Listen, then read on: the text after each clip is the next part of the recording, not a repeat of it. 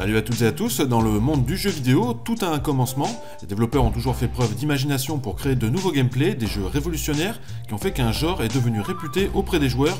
Nous allons voir aujourd'hui ces fameux jeux, sans doute pas les premiers ni les meilleurs, mais ils ont suffisamment popularisé un genre pour que d'innombrables autres jeux s'en inspirent. Voici le top 10 des jeux qui ont popularisé un genre.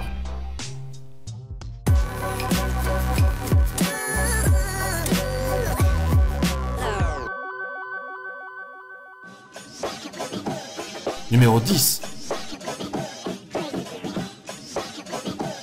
Et on commence avec le jeu Dance Dance Revolution pour les jeux musicaux. Les jeux vidéo ont toujours nécessité des réflexes. Ici, on les teste en écoutant une chanson et on doit taper les boutons au bon moment pour obtenir le timing le plus parfait. Alors l'erreur n'est pas sanctionnée, mais des récompenses sont acquises si on s'approche du timing parfait. Le mode multijoueur est très apprécié grâce aussi à son tapis de danse. Initié par Konami à la fin des années 90, Dance Dance Revolution se vend par millions et a ouvert la voie à bien d'autres titres comme Guitar Hero ou Rock Band. Numéro 9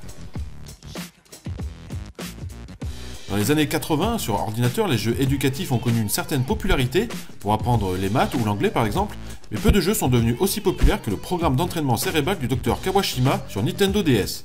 Les exercices sont assez simples, basés sur la logique, la mémoire, le calcul mental, mais très addictifs et la difficulté est progressive afin de mesurer l'âge de son cerveau. Le jeu a été inspiré par un livre, Entraîner son cerveau en 60 jours, écrit par le docteur Kawashima, qui avait eu un gros succès au Japon. Pourtant, deux chercheurs français ont réalisé des tests sur des enfants, démontrant que le jeu n'avait aucun intérêt sur le cerveau, mais malheureusement il a pourtant créé une vague de jeux similaires. Numéro 8. Avant 2003, les Tactical RPG existaient déjà, mais pour les connaisseurs, le jeu Disgaea Hour of Darkness, d'abord sur PlayStation 2 puis sur la PSP et la Nintendo DS, a insufflé un renouveau dans le genre tactical. De nombreux éléments inédits ont été ajoutés, comme euh, notamment la création de personnages surpuissants, le niveau maximum est de 9999 et il est possible d'infliger plusieurs dizaines de millions de points de dégâts en un coup. Le déroulement des combats au tour par tour, donc classique, apporte aussi de nombreux aspects nouveaux dans les Tactical RPG. Numéro 7. Les visual novels sont une spécialité japonaise qui ont du mal à traverser les frontières jusqu'en Occident. Ces jeux originaux et parfois drôles ont peu de succès en dehors du Japon.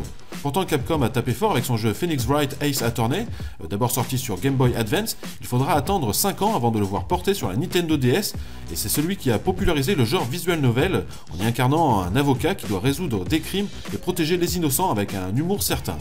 On doit découvrir les mensonges des témoins, et la phrase Objection est devenue très populaire sur Internet. L'originalité du jeu, son thème, ses enquêtes addictives, un jeu surprenant qui popularisera le genre visual novel. Numéro 6 Sorti sur Super Nintendo, Super Mario Kart a popularisé lui le genre de jeu de course en carte. Euh, les personnages de Mario, les éléments de gameplay innovants, les différentes armes présentes qui font que même en maîtrisant le jeu, on peut vite finir à la dernière place. Les carapaces vertes, rouges et bleues, les bananes ou les champignons, la version sur Nintendo 64 marquera un tournant avec un jeu très abouti qui influencera bien d'autres jeux de course en carte tels que Diddy Kong Racing ou Crash Team Racing. Sorti cette année, Mario Kart 8 est toujours un succès. Numéro 5 Doom, l'emblématique Doom développé par ID Software au début des années 90. Alors peut-être pas le premier FPS de l'histoire, mais c'est celui qui a popularisé le genre avec de nombreux éléments révolutionnaires. La fluidité, la variété des ennemis, l'ambiance, l'arsenal impressionnant, le jeu n'est pas parfait mais a introduit dans le paysage vidéoludique une nouvelle façon de jouer. Son côté addictif aurait fait baisser la productivité aux États-Unis à sa sortie, surtout grâce au mode de commercialisation instauré par ID Software, c'est-à-dire un jeu gratuit téléchargeable pour quelques niveaux, et ensuite il faut acheter le jeu pour avoir le jeu complet. Engouement incroyable, Quake, Duke Nukem, Unreal, Half-Life, Halo, la liste des FPS inspirés de Doom est immense et le genre est aujourd'hui le plus populaire auprès des joueurs. Numéro 4 Alors pour populariser un genre, il faut créer un nom qui le caractérise. C'est ce qu'a fait Capcom en sortant Resident Evil sur la PlayStation. Le genre nouvellement créé, c'est le Survival Horror. Resident Evil n'est pas le premier survival, Capcom s'est fortement inspiré d'Alone in the Dark et un nouveau genre est né. Jeu d'action, caméra fixe, monstre à tous les étages, limitation des munitions, la fuite étant préférable au combat, ambiance sombre à se faire peur, la survie comme élément principal du gameplay, Resident Evil influencera de nombreux autres jeux tels que Silent Hill, Project Zero ou Left 4 Dead. Numéro 3. Connu sous le nom de Dragon Quest au Japon, le jeu Dragon Warrior a quant à lui popularisé le genre RPG sur console. Des points de vie, des équipements, des armes dans un jeu de rôle, on ne connaissait tout ça que dans les Donjons et Dragons. Dragon Quest a donc ouvert la voie pour de nombreux autres RPG sur console tels que Final Fantasy. La licence se fait un petit peu plus rare aujourd'hui, un Dragon Quest 11 est en projet et devrait sortir sur PlayStation 4 et Nintendo 3DS en 2016. Numéro 2 Combien de jeux vidéo ont été autant populaires et a connu un portage sur quasiment tous les supports possibles? Tetris est l'exemple parfait d'un concept simple mais qui connaîtra un plus grand succès et que des jeux plus complexes. Son gameplay a su rassembler les joueurs comme les non-joueurs, le jeu de puzzle par excellence, reconnaissable entre tous, il suffit de voir euh, la liste des jeux clones au concept similaire, de lance de la Game Boy en 1989, téléchargé plus de 100 millions de fois sur support mobile, Tetris est sans doute le jeu le plus connu du monde. Numéro 1